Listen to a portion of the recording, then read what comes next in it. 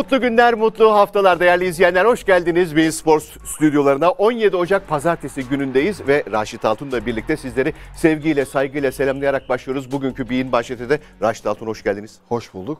Değerli izleyenler, ee, haftayı bu hafta çift maç haftası biliyorsunuz. 21. haftayı geride bıraktık. Raşit nasıl geçti hafta sonu? Ya valla aslında keyifsizdi biraz. Malum rahmetli Ahmet Çalık'ın bence e, vefatı sahaya da yansıdı gibi Mutlaka. gördüm ben. Yani çok hani o şey maçlar keyifli değildi. Yalnız Hatay Galatasaray maçı güzel bir maç olduğunu söyleyebiliriz tabii. Dün hani dün akşam izleyenler herhalde keyif almıştır. Tabii Galatasaraylılar keyif almamıştır. Elbette Maçın ama sonucunda. oyun anlamında, Oyun- tempo bir anlamında, tempo pozisyon anlamında, her şey vardı işte. Evet. Penaltı, kırmızı kart. E, Güzel bir maç olduğunu düşünüyorum ben. İnşallah hafta arası ve hafta sonunda böyle devam eder. Başlayalım programa değerli izleyenler. Nasıl bir hafta sonunu geride bıraktık? Hemen gelsin sonuçlar. Ekranlarınıza haftanın açılış maçında Beşiktaş Gaziantep Futbol Kulübü ile karşı karşıya geldi. Beşiktaş maçı 1-0 kazandı. Öznur Kablo Yeni Malatya Spor kendi evinde Göztepe'ye 2-1 yenildi haftanın açılış karşılaşmalarında. Adana Demirspor Yukatel Kayseri Spor karşılaşması 1-1 bitti. Vavakars Fatih Karagümrük Çaykur Rizespor 2-0 mağlup etti ve 1-1 biten iki maç.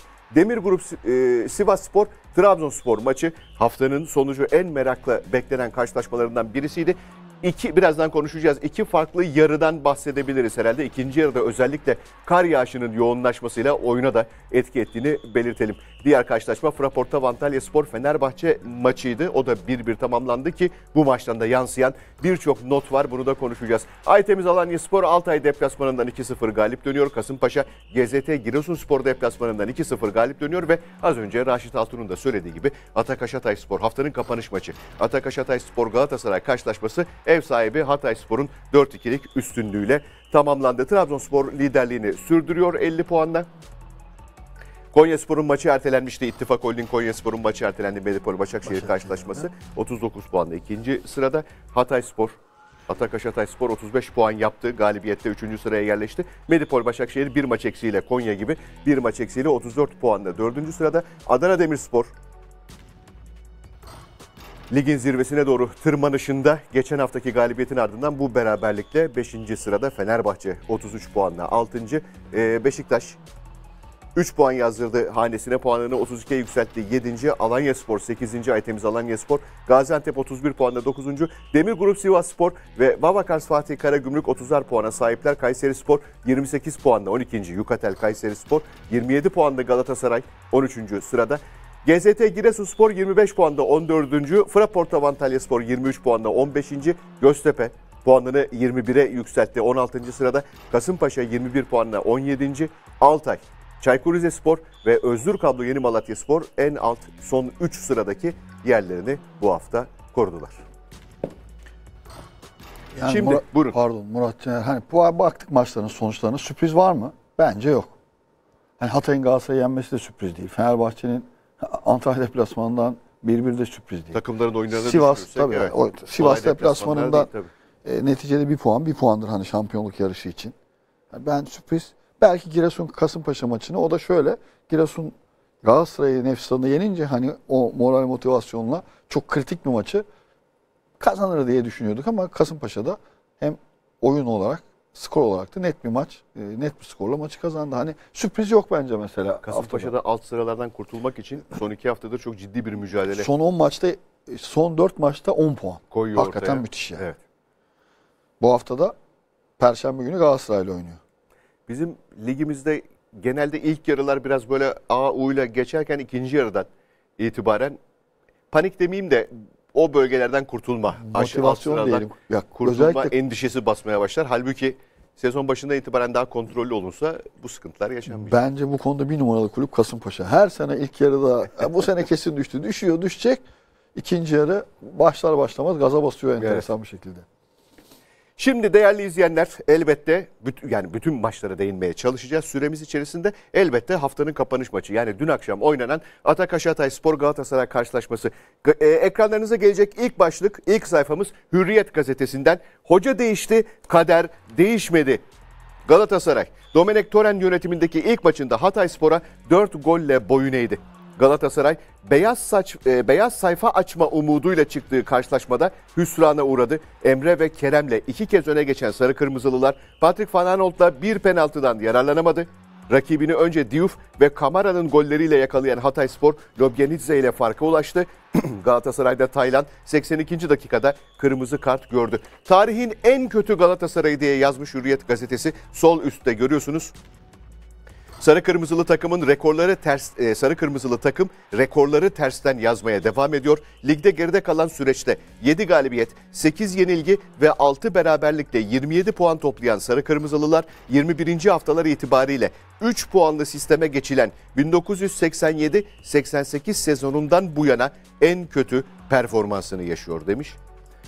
Bitmeyen kabus penaltı. Bu da sağ üst köşeden. Bu sezon penaltıları değerlendirme yüzdesi son derece düşük olan Galatasaray dün de aynı sıkıntıyı yaşadı. 27. dakikada kazanılan atışı kullanan Patrick Van Aanholt kötü bir vuruş yapınca kaleci Abdullah kurtardı. Böylelikle Galatasaray bu sezon kullandığı 4. penaltı atışının 3'ünden yararlanamamış oldu. Sarı Kırmızılılar takımın bu sezon kazandığı 4 penaltıda gol atmayı başaran tek isim birinci haftadaki Giresunspor maçında fileleri havalandıran Çikaldağ oldu. Burada Ömer Hoca'nın çok doğru oynadık sözü başlığa çıkarılmış. Atakaş Hatay Spor Teknik Direktörü Ömer Erdoğan 4-2 kazandıkları maçla ilgili puan kaybetseydik gerçekten çok üzülürdüm. Sürekli pozisyona giren, iyi mücadele eden bir oyuncu grubum vardı. Taylan Antalyalı'ya top yaptırmak yaptırmamak istedik. Çok doğru şeyler yaptık ve haklı bir galibiyet aldık demiş Ömer Hoca. İkinci sayfa Milliyet'ten manidar bir başlık olmuş. Hoş geldin Toren. Evet biraz ironik bir başlık Evet. olmuş tabii. Galatasaray Fatih Terim sonrasında da kötü bir sonuç gördü. Bu kez yeni hocasıyla Atakaş Hatay deplasmanından farklı bir yenilgiyle döndü. Sarı Kırmızılılar Emre Kılınç ve Kerem'le iki kez öne geçse de Diouf, Kamara ve Lopyenitse'nin golleri başına çorap ördü. Son 34 yılın en kötü Galatasaray'ı. En berbatı yazmış En- yalnız. en Sen berbatı. Şey yaptın biraz e, sert başlıklar. Şansın dönmesini bekliyoruz. Galatasaray e, Galatasaray'ın penaltısını kaçıran Patrick Van Aanholt büyük bir takımız ancak şu anda şans bizden yana değil. Şansın dönmesini sabırsızlıkla bekliyoruz yorumunu yaptı. Tabii sadece şansla Yani E, böyle bir şey açıklanacak dört bir- penaltının üçünü kaçırmak durumda değil. değildi. yani. Bir kere bir kere Galatasaray'ın penaltısı yok. Bir başlığımız daha var. Hemen onu da okuyalım. Fanatik gazetesi. Aa pardon. Yanlış şey attım değil mi? Ha peki getirdiyseniz tamam. Ben özür dilerim rejiden. Şaşırttıysam. Doğru yere gidiyorum şimdi. Hatay'dan tarihi zafer. Süper Lig'in flash ekibi Hatay Spor, yeni hocası Domenek Toren yönetiminde ilk zaferini arayan Galatasaray karşısında pes etmedi. Akdeniz ekibi iki kez geriye düştüğü maçta şov yaptı. Karşılaşmayı 4-2 kazanmayı başarırken 3. sıraya yükseldi. Ömer Hoca'nın, Ömer Erdoğan'ın haklı bir galibiyet sözü yine e, başlığa çıkarılmış. Altta, sol altta Deniz Hoca'nın, Deniz Çoban'ın penaltıyı atladı. Kamara'nın golü offside tespitleri ki dün akşam trio programımızda da konuşuldu. Biz de bu maçta çünkü konuşulacak çok fazla e, hakem pozisyonu oldu maalesef. Maalesef. E, onları da ekrana getireceğiz ama önce şurada bir tane atladığım başlık var. Affınıza sığınarak terimle rekabet edemem diye bir başlık var Milliyet gazetesinde. Hızlıca onu da okuyayım. Galatasaray'da yenilgiyle işe başlayan Domenek Toren kendisini Fatih Terim'le karşılaştırma veya rekabet etme gibi bir durumda görmediğini söyledi. Fatih Terim Türkiye'de bir efsane, Avrupa'da da saygıyı hak eden bir insan ancak futbolda en önemlisi kulüplerdir, kulüpler kalıcıdır. Sözlerini gazete başlık ve başlık altında görmüş. Benim e, Fatih Hoca ile bir rekabet ya da yarışma gibi bir durumum söz konusu olamaz sözlerini aktarıyor gazete. Gelelim karşılaşmaya. Hakikaten söze başlarken de belirttiğimiz gibi tempo açısından, mücadele açısından, pozisyon açısından aksiyon filmi gibiydi. Evet. Ben e, zaman zaman hani notlarımızı alıyoruz. Neredeyse kağıt bitti. Notları alırken de yetişemedik Yetişemedik. hızına. Pozisyonların hızına, kartlar geldi, o öyle oldu, orada vesaire hakikaten Goller de güzeldi. Seyir zevki e, güzel bir karşılaşmaydı. Dediğim gibi hakemin damgasını vurduğu anlar oldu. Onları da konuşacağız ama önce şöyle başlayalım. Atakaş Hatay Spor'un da oyununu konuşacağız. Domenek Toren nasıl bir 11'le, nasıl bir bakış açısıyla çıktı sahaya ki bir de Halil'in oyundan çıktığı an herhalde. Evet herhalde maçın 2-1 önde Galatasaray o anda. Kaçıncı dakika? 50, Aytaç 58. 50, dakika. 57, 58. 57 mi? Aytaç 58'de. Galatasaray santraforsuz oynamaya başladı. Gerçi tabii ki orada Kerem var. Yani ön tarafta oyuncu var ama hani klasik bir santraforsuz oynadı. Bir kere burada e, Ömer Hoca'yı tebrik etmek lazım. Çok hakikaten iyi çalışmış. Özellikle Galatasaray'ın sol kanadı yani Van Aanholt ofansif olarak gerçekten muazzam bir oyuncu. Zaten 220 Premier Lig maçı oynamış. Ama ofansif olarak ne kadar iyiyse defansif olarak da o kadar kötü. Bunu maçtan sonra Lobyanidze de söylüyor. Ee, Galatasaray defansının araya atılan toplar sol kanadına özellikle bütün pozisyonlarda gollerde sol kanattan geldi. Hoca çalışmış, yüklendi. Ee, Galatasaray'ın e, sol kanadını yani kendi sağ kanadıyla hakikaten orayı bir e, Koridora. koridora çevirdi yani Ama- amiyane tabirle ve buna da önlem alamadı. Torrent. Biraz daha büyük resme bakalım. Biraz daha geniş görmeye çalışalım. Galatasaray'da hoca Ömer Hoca e, Atakaş Hatayspor'un hocası Ömer Hoca neden böyle bir plan geliştirdi? Çünkü Galatasaray'da orta saha yok. Özetle böyle orta söyleyebiliriz. saha yok demeyelim de futbol şey olarak var tabii ama Ya öyle o anlamda değil elbette canım tabii ki. Yani ama oyun kurgusu anlamında. yok tabii yani. Oyunu etki edecek. Hem hücumda hem, defa- savunmada. evet. Şimdi artık futbolda tabii sürekli futbol değişiyor, gelişiyor. Mesela 15 sene önce defansif orta saha oyuncuları hani sadece defans yapıyorlardı. Ama şimdi e, her oyuncunun hücuma stoperler dahil katkı yapması gerekiyor. Ya bugün şampiyonluk yarışındaki ya da büyük takımlarla mukayese etsek Berkan Çıkıldağ, Taylan'ı mesela Berkan Çıkıldağ Taylan mı? Pjanic Joseph Emirhan mı? E, tartışılmaz Yani tabii. tartışılmaz bir Tabii. şekilde orada bir kadroda e, kalite zafiyeti Galatasaray'ın var. Yani kadro mühendisliği son 2-3 senedir çok kötü yapıldığını söyleyebiliriz. Yani büyük takım seviyesinde Galatasaray'ın çok az oyuncusu var. Keşke Tolga'ya söyleseydim de biz hani küçükken yapardık. İşte Fenerbahçe'yle Galatasaray, Beşiktaş kadronu yan yana koyarsın ya da Galatasaray'la. Hangi takımdan kimi alırsın oyuncu? Mesela bugün bir Beşiktaşlı ya da Trabzonsporlu'ya sorsak Galatasaray takımından Trabzonspor'da ilk 11 oynayacak biri var mı? Yok. Yani belki Kerem ister herhalde Abdullah Avcı. Muhtemelen. Değil mi? Ya Stoperleri. Kerem'i herkes ister. Yani tabii. Sakatlanmasa stoper de istemez. Tam marka da olabilir ama orada Vitor Hugo var. Yani bir kadro e, zafiyeti var. E, rakipler de çalışıyor. Ömer Hoca da diğer rakipler de. Yani ben Galatasaray'ın tabii hoca değişimi e, reaksiyon gösterir kulüpler genellikle. Fenerbahçe de göstermedi ama hav, yani Galatasaray Fenerbahçe havlu attığı için biraz tabii zor oluyor. Burada Beşiktaş istisna. Yani hoca değişikliğinin çok fazla bir fark yaratacağını düşünmüyorum. Şu farkı gördük ama hani Kerem'le e, Emre Kılınç daha içeriye girdiler. Evet etkili oldular. Yani hoca dört günde ne yapacak? Bir şey de yapamaz. O Elbette. da doğru. Ama elindeki malzeme bu. Yani bugün herhalde dünya futbol tarihinin en iyi orta saha oyuncusu Xavi de Pep Guardiola 20 sene La Masia'dan beri çalışmış. E, Xavi geldi Barcelona bir şey yapabiliyor mu? Transfer istiyor. Yani bu e, hocalık bir durum olmadığını düşünüyorum ben. Fatih Zaten- Hoca'nın da çözemediği buydu zaten. Buydu zaten. Ben hani zaten devam etmesi gerektiğini de hani hep konuştuk e, sizinle de ben her programda sezon sonuna kadar devam etmeli. Sezon sonuna kadar. Torrent'le ne olacak? Bence böyle devam edecek işte. Bir maç belki kazanır, bir maç kaybeder. Ama şöyle bir tehlike var. E, Murat Caner, Galatasaray'ın düşman hattıyla arasında 26 puan fark var. E, önümüzdeki yıllar için söylüyorum. Haziran'da da biliyorsun bu Bankalar Birliği'nin ödemeleri Evet, başlayacak. evet. Artık öyle hani büyük oyuncu, yüksek maliyetli oyuncular alamayacaklar. Bence e, özellikle üç büyük kulüp için sıkıntılı seneler başlıyor. Yani bu sene Galatasaray, iki sene önce Fenerbahçe yaşadı bunu. Ya bu sene şimdi Galatasaray e, küme düşme hattında 6 puan önünde. Bu hafta Kasımpaşa ile oynuyor. Sonra Trabzonspor oynayacak. Konya'ya gidecek ondan sonra. Hani zor bir fikstürü var. Ee, biraz artık e, daha doğru oyuncu transferleri yapılması gerekiyor. Yani 6,5 milyon euro Çıkıldağ, 7,5 milyon euro e, Wesley Schneider. Wesley Schneider. 7,5 milyon euroya transfer etmiş Galatasaray. 6,5 milyon euroya Çıkıldağ. Dün mesela Kamara çok tartışılan bir oyuncu. Menemen Spor'dan bedava almış Hatay. Yani iş bu. Yani 7 milyon euro verip Nelson'u transfer başarısı değil bu. Benim en azından nacizane fikrim. Yani siz Kamara'yı alıyor musunuz? Samet Akaydın'ı alıyor musun? Keçiören gücünden de, e, Demirspor için söylüyorum. Yani bu yanlış transferler Galatasaray'ı bu duruma getirdi. Ben işinin zor olduğunu düşünüyorum. Bu saatten sonra Galatasaray'ın. Dün akşamki oyunda e, özellikle şey çıktıktan sonra Halil Dervişoğlu çıktıktan sonra e, Aytaç girdi. Aytaç ondan sonra üçlü savunmaya döndü. Aytaç iki stoperin arasına girdi vesaire. E, ondan sonra da oyunda biraz daha belki daha yeni bir şeyler denedi. Kanatlara uzun top oynadı, pozisyonu Evet, da buldu evet. e, Galatasaray bunlarla. Ancak e, Hatay'ın oyun yapısını da es geçmemek lazım. Hatay topu almak isteyen ve rakip kaleye yüklenen. Şeyi hatırlayın. Ee, Fenerbahçe'nin ilk yarıda Vitor Pereira Hoca çok iyi oynadık demişti Evet. geçiş oyununu. Ee, Hatay böyle bir illüzyon gördürebiliyor. Evet.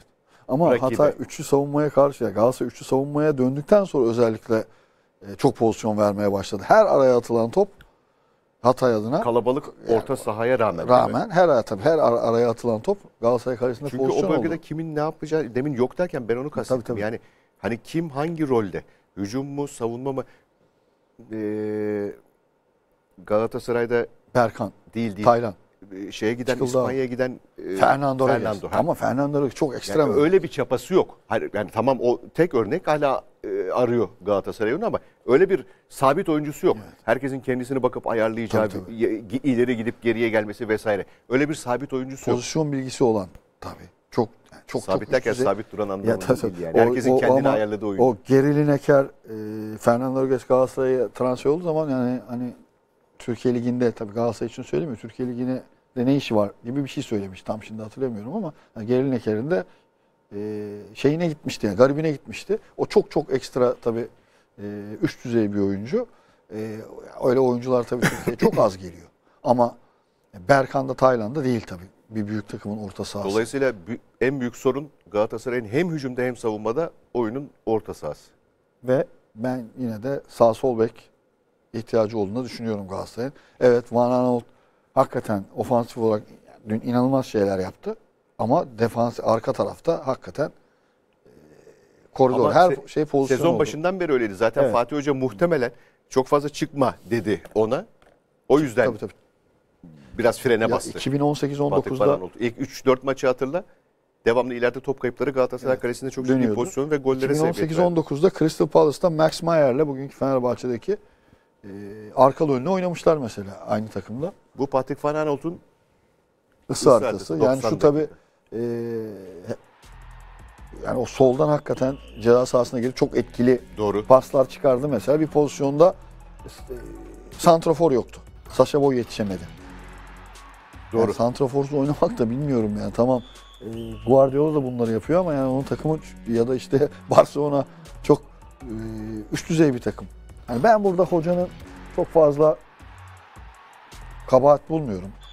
Ayrıca 3 gün olmuş, 4 gün olmuş yani. yani çok önemli değil o tabii. E, oyun olarak evet bir, bir böyle bir zaman zaman Galatasaray iyi bir oyun da oynadı. Ama tabii oyuncu kalitesi burada e, bir numaralı ben etken olduğunu düşünüyorum Murat Caner. Hani e, Galatasaray'da büyük ya mesela Santrafor'da Diouf var mı mesela? Ribeiro var mı orta sahasında Yok. Galatasaray'ın? Yok. Yani Galatasaray'da üst düzey oyuncu diyebileceğimiz 3-4 tane oyuncu var mesela. Kerem Aktürkoğlu, Markao. E, kaleci zaten hani Galatasaray'da yıllardır yabancı kaleci yani yedek kaleci konusunda problem yaşıyor. Bu arada e, Hatay Spor'un kalecisinin Abdullah da babası da profesyonel kaleci. Doğru.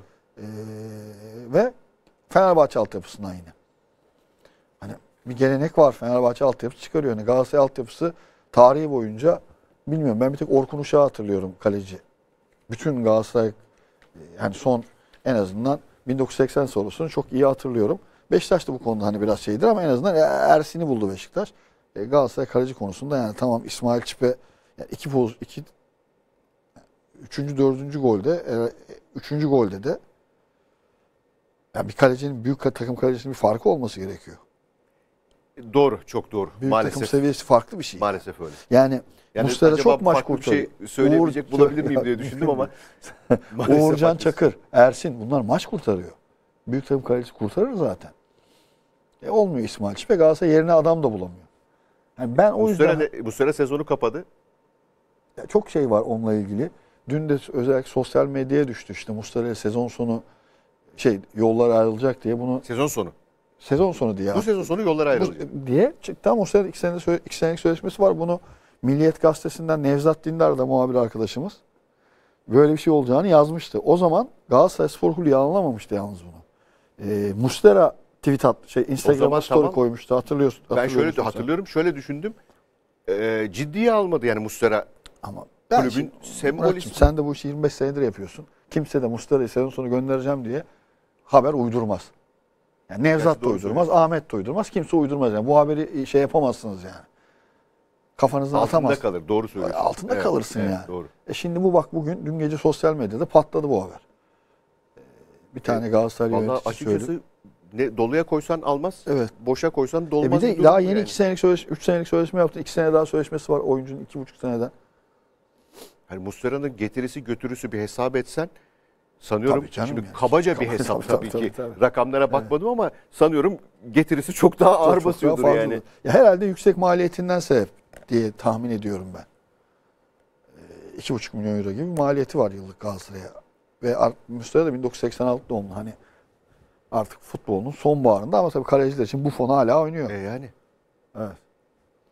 Vallahi Hayır böyle haberler bazı desem. muhabir arkadaşlar haber yapıyor. Hemen bir sosyal medya linci oluyor ama kimse yani biz de bu işi yaptık. Sen Bu- de yapıyorsun. Bu böyle haberler olmaz. Transfer haber olsa tamam. Ya zaten imzalı haberse bence kesin bir dayanağı vardır. Yani transfer haber oluyor ya, hiç kimin yazdığı belli değil. bazen bu haberler bilerek çıkarılabiliyor. Muhabir arkadaşlarımızdan bahsetmiyorum, yöneticilerden E, tabii, tabii falan. canım. Hani kamuoyunda Tabii, tabii, tartışılsın tabii, tabii, bakalım tabii, nereye tabii, varacak doğru, mesele doğru. diye bir görülsün Ama diye. bu muhabirin kaderinde var yani. Sen şimdi bu şimdi Murat Caner bana sürekli e, bilgi veriyor, bilgi veriyor, doğru çıkıyor, doğru çıkıyor. Aradan bir tane Yanlış. manipülasyon manipülasyon haberi veriyor. E sen onu da doğru diye e, kullanıyorsun Güvenip- yani kaynağını veriyorsun. Orada bir ters köşe ötüyor. Abi yaktım arıyorsun. Abi yaktın beni. Oğlum ben de öyle biliyordum falan diye bu muhabbette oluyor yani bu işin e, İçinde var içinde maalesef. var. Evet. Ama o haber mesela kulüp yalanlamadı. Önemli bir haber. Yani Galatasaray Spor Kulübü'nün Peki kaptanı senin beklentin ne? Hakikaten öyle bir şey olacak. ya bence Bir olamaz. orta yol bulunur herhalde. Bence şöyle Eğer olamaz. sadece paraysa mesele. Her, muhtemelen sadece para değil ama. Öyle mi? Yani şöyle bir e, Galatasaray'ın Renders maçı sonrası yanılmıyorsam medyaya da yansıdı. Mustera ile Fatih Terim arasında bir hani bir tartışma Evet. olmuş idi. O zaman da yansımıştı. E bir de yüksek maliyet, yaş. Tabii Galatasaray bütün maaşları bütün kulüpler yapacak bunu. Önümüzdeki Beşiktaş da yapıyor. Mecburen. 1 milyon euronun altına indirmeye çalışıyor ama siz sözleşme imzaladınız oyuncuyla 3 senelik 2,5 milyon En euroda. yüksek tavan ücret diye Muslera belirlendi. Bundan Ee, sonra hiçbir yani oyuncuya işte daha o- fazla evet. verilmeyecek dendi. Doğal tabii hem kaptan hem de hakikaten Galatasaray'da yaşadığı Galatasaray'ın Muslera'da yaşadığı 5 şampiyonlukta direkt etkisi var. Bugün Aynen. Trabzonspor'un puan farkı lider olmasında nasıl Uğurcan Çakır'ın bir numaralı faktörüyse Muslera'da Galatasaray'ın şampiyonluklarında öyle. Çok doğru. Hani ben şey olacağını düşünmüyorum ama bir hani ayrılık. Ama demek ki bu konuşuluyor ve düşünülüyor. Kimse bu haberi atmaz, sallamaz diye tahmin ediyorum. Hem Muslera hem Galatasaray olunca doğru söylüyorsun. Yani, Yani. Ve kulüp yalanlama yapmadı. Şimdi başka bir oyuncuyla ilgili olsa olur ama kaptanınızla ilgili bir haber ve kaptanınız kendi yalanlıyor sosyal medya hesabından bence kulüp burada devreye girerdi. Hani ciddiye almadı. Yani başka bir oyuncu, başka bir haber olsa tamam yalanlama e, yapılabilir. Şey yapılmaz ama Mustara ile ilgili bir açıklama, yalanlama demeyelim de tabii ayıp olmasın muhabir arkadaşlar bir açıklama yapılır diye düşünüyorum ben. Yani Murat Caner Galatasaray'da işler karışık. kötü değil, çok kötü. Malum yönetim işte sosyal medyada sürekli e, sosyal medya savaşları diyelim. Yönetim çok karışık. Yani ben hep sizinle de konuşuyorum. Mayıs'ta seçim olacağını zaten düşünüyorduk ama daha erken de olabilir. Yani Mart'ta Galatasaray'ın Mali e, Genel Kurulu var. Her spor kulübü derneğinin Mali Genel Kurulu oluyor bu arada. Hani Galatasaray'ın tabii büyük kulüplerin çok gündeme geldiği için bütün kulüpler dernekler masasına bağlı, şirket olmayanlar. Galatasaray'da, Fenerbahçe'de, Beşiktaş'ta bunların mali genel kurulu var. Ben bu mali genel kurulda seçimli olabileceğini düşünüyorum. Seçim kararı alıp yani daha önce seçim kararı alıp hem mali genel kurul hem seçim. Bunu nereden söylüyorum? Hem tahmin ediyorum bir de e, biliyorsun gazeteci birimiz Fatih Altaylı işte köşesinde e, Sayın Burak Elmas'a böyle bir karar almasını tavsiye etti. Fatih Altaylı da liselidir. Sayın Burak Elmas'la e, yakındır hani Sayın Faruk Süren'le de böyle ailece gibi diyelim. Arkadaşlar yani. E, bence bunu yazması bir işaret. Ben Mart ayında e, Mayıs'taki seçim kesin de yüzde yüz de e, Mayıs'ta da bir şey Mart ayında da bir seçimli genel kurul olabileceğini düşünüyorum. Elbette kulüplerde zaman zaman böyle dönemler olur. Galatasaray'da da olur, olmuştur. Ee, ama bunlar tartışılır, konuşulur ve bir şekilde demokratik, herkesin fikrini ifade ettiği şekilde demokratik bir şekilde e, çözülür. Yani böyle e, bütün mesele çözümün tarafı olabilmek. Ama bu yönetimin Çözüm, galiba çözüm çözüm şey- şey yapacak durumu yok gibi Murat Caner. Bi- Gördüğümüz kadarıyla bilemiyoruz ama hani Bilemiyorum. Sosyal medyaya düşenleri görünce artık iş çözümden birazcık Ya- zor yani Sayın Burak Elmas'ın işi. hiçbir kulübün, hiçbir ismin, hiçbir teknik direktörün, hiçbir yöneticinin savunulmaya ihtiyacı yok. Yanlış anlaşılma olmasın. Herkesin kendi Tabii, tabii. ağzı var, kendi sosyal medya hesabı var. Herkes istediği gibi savunur. Ben sadece şu şey yapmak isterim. Sosyal medyada zaman zaman neyin neden kullanıldığı, neden yazıldığı, çizildiği bilemiyorsun, güvenemiyorsun. En doğrusunu yine Galatasaraylılar verecektir. Koskocaman bir camia oturup düşünülecektir. Yani yapılır yapılmaz. Ama şu bir gerçek ki bir an önce bu suların durulması gerekiyor ki önünü görebilsin. Tabii. Yani zaten işler kolay değil. Bir de bu kadar şeye Yani ben- çalkantıya Ben futbol Gerek yok. takımının da işinin zor olduğunu düşünüyorum Murat Caner. Yani 27 puan e, tabii ki Galatasaray Lig'de kalacaktır. ya elbette Ama hani bir stres yaşayacak bence bu saatten sonra. Ee, bir bağ da hani taraftarla da arasındaki bağ koptu sanki futbol takımının. oyun, Sadece o şey değil. Oyun anlamında oyun hani böyle anlamında cevap veremedi dün akşam. veremedi ama böyle bir zaman zaman bir hafif bir böyle bir ilk yarı özellikle bir hani bir Pozisyonlar Post- oldu, oldu. tabii ki golde buldu zaten. ama o da yani Murat Çağar koskoca Galatasaray takımısınız yani. E, formayı koysanız zaten bir şey oynayacak Doğru. diye düşünüyorum ben. Hani maç içinde hakikaten Hatayspor'u tebrik ediyorum. Ömer Erdoğan. Yani Galatasaray'ı hakikaten çözmek de çok kolay yani. Sol kanattan yani sağ kanadı. Vanalov'un arkası.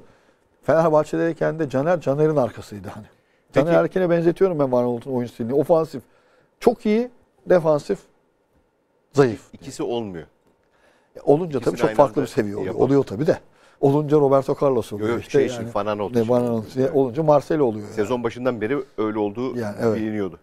Yani Premier Lig'de tabii 220 maç oynamış. Demek ki e, tabii bir de bu şeyle de alakalı. Muratcan önünüzdeki oyuncuyla da alakalı. Mesela Kerem, Kerem'in arkasında oynamak da zor. Quaresma'nın arkasında oynamak da zor. Mesut Özil'in arkasında oynamak da zor. Gelmiyor çünkü bunların defansif yönü güçsüz oyuncular. Ofansif olarak çok güçlü ama defansif olarak güçsüz oyuncular. E biraz tabii Kerem'in arkasında olması da mutlaka. E orta sahada Berkan Taylan, Çıkıldağ da e, çok formsuz diyelim. E o zaman tabii sürekli yalnız Çıkıldağ, kalıyor evet. oyuncu. Orta sahada derleyen toplayan hiç değilse oyunculardan bir tanesiydi ama e, hastalandıktan sonra o da tam formda geri dönemedi Çıkaldı o da. Ya biraz tabii ben hem Çikolda hem Morutan için dışarıdan gördüğümüz kadarıyla biraz böyle e, enerjisi düşük oyuncu ya da böyle bir Ama bütün takımda var o Var, enerji evet. düşüklüğü. ama Kerem'de yok mesela kendine güven. Tam gaz devam Kerem Aktürkoğlu. İnanılmaz bir kendine güveni var Ke- Kerem Aktürkoğlu'nun. Maşallah. Maşallah tabii. Hem milli takımımız için tabii öne, özellikle. Ya şu, şu pozisyonda da nasıl bu penaltıyı yapıyor hakikaten Elle oynamadı. profesyonel futbolcu akıl alır gibi değil yani. Handball olmuş Yani orada. resmen, Voleybol olmuş. yani resmen evet blok yapmış yani. Evet. Bu Ma- seviyede. Pozisyonlara bakacağız. Hemen maç sonu istatistiklere bakalım. İlk e, Ga- Galatasaray topa hem ilk yarıda hem maç sonu itibariyle sahip olan e, taraftı. Ancak şeylere baktığınızda, şutlara baktığınızda ilk yarıda Galatasaray 6'da 3 isabet bulmuş. Maçı da 13'te 5 isabetle tamamlamış. Hatay içinde yani çok farklı değil. Onlar da ilk yarıda 10'da 3, 10 şutta 3 isabet. Maç sonunda 16'da 7 isabet ancak e, buradan 4 gol çıkarmayı başardı ki 3.89 gol beklentisi maç sonu itibariyle. Galatasaray'ın da hiç fena değil 3.16. Evet bu kadar yüksek acaba bir maç olmuş mu? İki taraflı da. Penaltılar var bunun içinde. Evet tamam Onu da ama yine de yüksek çok Tabii yine de pozisyonlu yüksek. maçtı yani. yani. Aynı iki takımın da bu kadar pozisyona girdiği maç bil- olmuş rakip mudur? ceza sahasında topla buluşmaya bak. İşte 31-26 bu- olmuş mudur diyorum. Ama şutlara çevrilmiş mi orada Evet, çok evet. fazla yok. Ama zaten o maalesef Galatasaray Türk futbolunun sorunu. Yani Şuta çok maalesef fazla Türk çevrilmiş. futbolcusu şut çekmiyor. Şutu yok. Çalışmıyor altyapılarda. Mesela bak bugün ligimizde iyi şut çeken yerli futbolculara da bakacak olursak ülkemizde ya da yani Burak Yılmaz hariç hepsi eee, Almanya kökenli. Sivas Trabzon maçına baktım şimdi maç sonu istatistik onlar ne yapmış diye. Yarısı değildi. Trabzon çünkü en çok gole çeviren takımlardan bir tanesi biliyorsun. Ee, onda 3 ile bitirmiş Trabzonspor'da Sivas karşısında. İlk yarı 7'ye 2 maç sonu onda 3 olmuş. Neyse birazdan konuşacağız. Ee, Sivas Trabzon karşılaşmasını rol çalmayalım şimdi. Maç sonu istatistikleri böyle. Pe- bir de penaltı meselesi var. Gazetelerden Bir de de, okudum. bir de Muratcan çok Buyurun. özür dilerim bak. 8 faul, 7 faul, 5 sarı, 5 sarı bir kırmızı. Hani faul şey oranı da yüksek. Yani mesela bazı maçlarda 10 faul oluyor, bir sarı kart. Enteresan bir maçtı hakikaten. Yedek bankında Ömer Bayram sarı kart gördük. Gördük 45. tabii o da var. dakikada. Tabii, o da var. Evet. Taylan doğrudan kırmızı kart gördü. Evet. Biraz faul sayısı fazlaydı. Şey sarı kart Az- sayısı fazlaydı. fazla. Dün akşam trio programında Evet. valla değerli izleyenler ben size şöyle göstereyim. Ben bunu bir de e, mümkün olduğunca e, şey yaparak yazmaya Özet, çalıştım. 1 özet. A4. Normalde bu kadar çok pozisyon ve bu kadar çok değerlendirme olmuyor bir maçta. Oluyor ama bu kadar değil. kadar değil. E, daha fazlası da vardı. Hocalar da konuştu dün akşam. E, hakem konseyi de değerlendirdi. Daha verilmesi gereken dünya kadar sarı kart ve sarıdan kırmızıya dönmeler, Dönmeler. vesaire olması gerekiyordu Penaltılar. penaltılar olması gerekiyordu. Onları da konuşacağız. Ne dedik şimdi Ee, en son? Ha penaltılar meselesi, penaltı meselesi. Dört penaltıdan üçünü kaçırdı. Galatasaray en son ben gazeteyi okurken dedin ki Galatasaray'ın net bir penaltıcısı yok. Yok. Ee, Çikaldao dediler hani gelirken duran Tek toplar atan biz gol de, ol- evet, tek gol de onun gole zaten. çeviren olduğu için. Giresunspor maçı. Ee, biz de hani bir oyuncu transfer olduğu zaman şeye bakıyorsun ya hemen YouTube'dan falan oyuncu ne yapmış ne, görüntülerine falan. Hakikaten duran topları iyi kullanan bir oyuncu gibi görünüyordu. Ya bu inanılmaz kötü bir istatistik tabii. Hangisi sevgili Tolga? 20-21 sezonundaki. Yani Ryan Babel, Emre Akbaba ve Mustafa Muhammed. Ha Denizli maçı. Evet. Tamam Denizli maçı. Ha evet doğru doğru. Valla Murat Caner bir de Diouf'un penaltısını gördük tabii. Sen de hatırlarsın. Biz yani biz ya 80'lerde falan defans oyuncuları stoperler penaltı kullanırdı. Aguntaylerler. Evet. İşte buraya yani yani amiyane tabirle gelirsin. Hami Mandıralı. Ben penaltı kaçını hatırlamıyorum. Şimdi Atilla ile konuşuyorduk yukarıda editör arkadaşımız da diyor ki bir pozisyon var ben onu hatırlamadım ama yani kaleci kurtarıyor ama topla birlikte içeri düşüyor diyor. Gelip biraz yani penaltıyı bilmiyorum. Ee, yani Roberto Baggio da Dünya Kupası finalinde penaltı kaçırdı. Maradona da kaçırdı ama hakikaten çok kötü penaltı atıyor.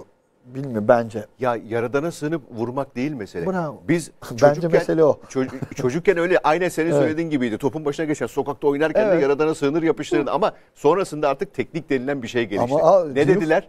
Ne dediler? Avrupa kupalarında, dünya kupalarında kalecinin uzanamayacağı yer. Bunun için çalışmalar düşün. Daha o zamanlar YouTube'lar, YouTube'lar yok. Videolar seyredilirdi. Hatırlıyorsun Evet, değil mi? tabii, Tabii Ama bir şey Kalecinin söyleyeceğim uzanamayacağı yere E ama- saatlerce, yüzlerce, Tamam ama- binlerce şut tamam çalışılırdı. ama e, Diouf vurdu işte. Ateş yani Yani hem ateş. uzanamayacağı yere hem, de sert, vurdu. vurdu. Bu arada Çıkıldağ'ın da son 5 penaltısına baktık yine yukarıda hep ortaya atmış. Yani ben mesela kaleci olsam Beklerim diyorsun. Çıkıldağ eğer penaltı kullanırsa beklerim. Ortada bu golde bundan öncekileri de hani Galatasaray'dan önce de hep ortaya vurmuş. Tafarel öyle meşhur oluyor biliyor musun Murat Caner? Tafarel bir penaltıyı e, atlamıyor, duruyor ve tutuyor Brezilya'dayken. Tabii bu tabii çok şey oluyor tabii yani. Popüler yani o kimse böyle bir şey yapmadığı için Tafarel'in kariyerinde önemli bir yeri oluyor. Yani penaltı yani pen yani şimdi penaltı dahi atamıyor Galatasaray. Bir de bu hani mental olarak tabii Mustafa var. Muhammed de yok, Feguli de yok. Bu arada onlar da Afrika Kupası'na gittikleri için Feguli Cagne de sakat Cagne. olmasa da belki Cagne de olmayacaktı. Senegal milli takımında olacaktı belki. Onların da eksikliğinin altını E, çizelim. Çünkü Feguli sezon başından beri biz burada Uğur Meleke ile konuşuyoruz. Orta sahada Evet. hocanın değerlendirebileceği bir isim. Çünkü orta sahada baştan beri konuştuğumuz gibi yaratıcılık konusunda çok ciddi sıkıntı yaşıyor Galatasaray. Gerek hücumda gerek savunmada. Feguli ise Galatasaray'ı savunmadan hücuma çok hızlı Evet, geçirebilen. Ya çok ve nokta atışı yapabilen bir oyuncu. Yetenek ve Peki beceri ben katma şey anlamında. soracağım. Dün akşam yaşanan en büyük sıkıntılardan bir tanesi savunmadan hücuma geçmek, kaptırılan topta da savunmaya dönememek. İşte Çok orada yani- Fegoli'nin şöyle fark yaratıyordu. Takım hücuma geçtiği anda hücumda kalıyordu. kalıyordu. Evet çünkü çok özel, çok Tam çıkarken düzey, topu tekrar kalesinde görmüyordu. çok tabii çok özel bir oyun, çok yetenekli bir oyuncu ama yani. ben de şunu anlamıyorum tabii yani bunu bilmiyorum sen düşündün mü hiç? Ee, yani Feguli sürekli biliyorsun Cezayir milli takımına çağrılıyor, Gezal çağrılmıyor. Benim mesela aklıma takılıyor bu. Vallahi açıkçası hiç şey yapmadım ya. Ben düşünüyorum bunu yani Fegüli'nin son iki senedeki performansı. Yani yeteneğine tabii ki bir şey diyemeyiz Fegüli'nin. Yetenek diyorsun. Gezel'de de var. Ama anlamında. yani Gezal oynuyor da hani katkı da sağlıyor. Enteresan tabii Fegüli biraz orada o sembol, bölgede belki hocanın tercihi şey Evet olduğu yani. için, Mahrez olduğu için sembol bir oyuncu bir de bence için şeyde çağırmıyor olabilir. çağırmıyor olabilir. E ya tamam Fegüli'nin olması tabii ki özellikle bence Muhammed Mustafa Cagney'in olma- olması etki ama hani e, Galatasaray'ın sorunu bence hani forvetten ziyade orta saha Orta ve saha. e, sağ sol bek. Mesela şimdi Çünkü Tolga ile. Orta konuşurken kadar varsın ya. Evet. Denir ya. Tolga ile İşlemiyor. konuşurken bir şey istiyor musun deyince unuttum bak. Mesela iki tane Sasha Boy'un geriye dönüşü var. Bir hani Sasha Boy ile foul pozisyonu var. Hani topu kaptırdığı pozisyon var. Orada e, gayet Dakika söyle bana hemen getirelim. e, s- Hatırlayabiliyor musun? Hatay'ın 79. dakika Hatay'ın 3. golünden önce ve 4. golü getirirse Bakacaklar yani şimdi. şimdi. mesela 4. golde Van Aanholt hakikaten depar atıyor, sprint atıyor, yakalamaya çalışıyor. Şey faal, faal oldu olmadı Evet, şeyini evet, biliyorsunuz. evet. Sağ kanatta Evet. çizgide. De- Golün hemen öncesi. Tamam golün öncesi. Yani oradan geri mesela hemen kalkıp koşması gerekmiyor mu? Maç 2-2 ya da dördüncü golde mesela bak Bunun yok, başı. yok artık şey. Boy yok. Heh, Bak burası. şimdi düş, düşüyor. Olabilir ha fauldür, değildir. Hakem bak bıraktı. Şimdi bir bu. iki ikinci, dördüncü golde getirecek olursak geniş açıdan yine. Burada da arkadaki kameradan. boşluk. Mesela tabii canım Van Aanholt koşuyor işte ama nereye gidiyor? Yok, koşuyor? tabii. Üçlü savunma ödemiş. Üç stoper orada. Peki e, sevgili dostlar bunun kale arkasından şeyi var mı? E, gö- Görüntüsü var mı? görüntüsü var mı? Bir de İsmail Çipe ben dün akşam onu merak ettim. Nasıl pozisyon aldı? Yani şimdi burada geldiği belli. Açı dar, marka bir yere kadar Bir kapatmış. kere sol taraf, sağ tarafını kalecinin kapatmış marka. Yani Zaten oraya oraya gidecekse, yani. hani vuruyorsa da sen bir şey yapamazsın artık. Ya kapattı. Ha buyurun. Kapattığı köşeden Evet, gerçekten kötü Murat, bir gol Zaten olmuş. oradan şey geliyor. Marka vursa bir ya markaya çarpacak ya bacak tarafa geçecek. vurma şansı yok Tamam zaten. işte ya da bacak arası. Onu zaten sen bir şey yapamazsın. Sen solunu koruyacaksın. Kapattığı yani burada yerden, tabii evet. Yani burada bunu üst düzey bir kaleci ne Uğurcan Çakır, ne Mustera, Kötü ne. Ersin. Haksızlık etmeyeyim ama şu açıdan bakınca Galiba ama galiba bak Marka Marka da ayağına çarpıyor galiba. O da şaşırtmış olabilir şimdi çocuğun da biraz Evet, evet, doğru aldık galiba. biraz günahını aldık galiba. Çünkü dokununca çünkü top bu tarafa geliyor. Tam üstüne Evet, gelecekken geliyor. evet. O yönünü o değiştirmiş. şaşırtıyor. Kontrpiyede bırakmış Evet, İsmail'i. bırakmış. Sözlerimizi geri alıyoruz Geri aldık İsmail'le ilgili ama bir dahaki golde ileri ver. Yani tekrar söyleyeceğiz yani. Tamam. şey, şimdi bir de şeyi alırsak sevgili Tolga, bir de Tolga. şeyi alabilir miyiz? Hangisi? Bak mesela dördüncü golde geriye koşuşu. Şimdi bak. Bak Saşa Boya Van Aanholt'a bak. Bak. Bakalım şimdi bak. Bak gayet Saşa Boy gayet şey yapıyor. ya, jogging jogging yapıyor. evet. Ya belki şimdi burada vurdu ya Lobianitse. Belki İsmail ayağına çarptıracak. Top penaltı noktasına oraya düşecek. Değil mi? Doğru. Ya geniş açıdan bir daha alabilirsek Açısı da belki daha fazla kapanacak. onu söylüyorum yani. Bitti. Yani bir insan depar atmaz mı koşarken geriye? E, şimdi geldi belki top. de. E, onu söylüyorum ben ama hani çok süratli bir. Şimdi bak geliyor. E sen öbür adama doğru diyelim. Geldi Lobianitse. Pena İsmail ayağıyla kurtardı diyelim. Öbür oyuncu atacak zaten. Öbür, doğru. Çok doğru. Şimdi bunu söylüyorum. Bir hani e, son dakika e, belki diyeceksiniz ki maç 3-2 4-2 ama e, Galatasaray geçen sene 2 iki, iki golle şampiyon belirlendi. Beşiktaş şampiyon oldu yani. Belki bu golle başka bir şey olacak. Çok ileride Gibi kaldı. gibi gibi. Ya şey zorlamıyor bak mesela. Bir kişi de eksik tabii bu dakikalarda. tabii canım. Tayland'da yok. Yani olur da futbol bu ama hayır sağ sol bek lazım diyor. O yüzden söylüyorum. Bir de bizde şöyle bir sorun var. Sevgili Murat yani. Mariano'dan sonra Fernando gitti. Orta sahaya muadilini bulamadı. Mariano gitti. ama Mariano çok Mari- Atletik Mineiro'da şampiyon oldu biliyorsun. Mariano için de Türkiye'de oynadığı dönemde en çok neyi konuşuyorduk hatırlıyor musun? Fatih Hoca savunmadaki hatalardan hiç memnun değil. Ama e, oyuna katkısı O, o bambaşka. Ama Mariano futbolcuydu. Yani şunu ben şunu söyleyecektim. İşte Patrick Van Aanholt de kıyaslayacak olursak hani onun da hücumu iyi, Ama yok bu oyun kurucu gibiydi değil. ama şey. Aynı Çok farklıydı Mariano. Mariano'nun zaten Sevilla'da iki tane yanılmıyorsam UEFA Kupası şampiyonu var gitti. Brezilya'da 50 sene sonra tabii Hulk da var takımda ama Atletik Mineiro'yu şampiyon yaptılar. Ben şunu söyleyeceğim. Mesela özellikle e, büyük kulüplerimiz bir futbolcu transfer ettiği zaman sağ bek mi ediyor? Cafu. Sol bek mi transfer ediyor? Roberto Carlos. Ya hemen gelmeden böyle bir sosyal medyada yok 50 milyon euro, 100 milyon euro. Yani bilmiyorum ben Sasha Bey bence tamam süratli müratli ama hani bu kadar böyle abartıldığı kadar e, iyi bir bek oyuncusu olduğunu düşünmüyorum açıkçası. Tabii ileriki hafta belki üçlü üçlüye dönerse önde dörtlü ya da beşli orta saha oynatırsa o sağında solunda daha etkili olabilir. Yani, ama döndü. Galatasaray ama bence daha fazla dağıldı. Yani hoca Torrent, Torrent O üçlüye döndü. orta sahaya rağmen Dağıldı bu sefer ya. savunma e, bek arasına atılan her, Her top pozisyonu pozisyon oldu. Kalabalık orta sahaya olma rağmen. İşte bu da orta sahanın demin söyledik ya hücuma geçiş, hücumdan savunmaya dönüş. O geçişleri yapamıyor oluşu. Çünkü yetenek. Evet. Oyun bilgisi. Şimdi e, pozisyonlara da bakalım mı madem oraya geldik. İlk olarak değerli izleyenler sevgili reji 11. pozisyona gidelim. Yani dakika 25. Burada Fatih'in Fatih Kuruçuk Kerem'e bir müdahalesi var mı? E, penaltı gerekir mi? Bu pozisyonun devamında da e, Berkan sarı kart gördü. Şu şeyiyle Evet. hamlesiyle. Tabii, Dün akşam trio pozisyonunda değerlendirildi konu. Ve burada Fatih'in Kerem'e müdahalesinin bir penaltı olarak değerlendirilmesinin daha doğru olacağı, pozisyonun penaltı olduğu kanaatine vardı. Malatya Spor Galatasaray maçında Andone de böyle pozisyon olmuştu. Kendini yere atmadığı için penaltı verilmemişti. Maçta ya 1-1 ya 0-0 bitmişti. Ee, Malatya'nın kalecisi, yabancı kalecisi vardı. Hatırlayamadım. a- e, Flo unuttum. Ay, Yani buna benzer bir pozisyondu. Yani tabii burada e, tartışılacak şey şu. Yani tartışma demeyelim tabii ama yani burada mesela Kerem atmalı mıydı kendini, atmamalı mıydı? Ayakta kalması bence doğru. Artık Ayakta orada hakem yani doğru. doğrusunu yaptı. Hakem e, görmedi ama yani hakikaten Murat Caner sen de bir önce sayfayı gösterin. Bu kadar bir maçta iki takımın lehine aleyhine.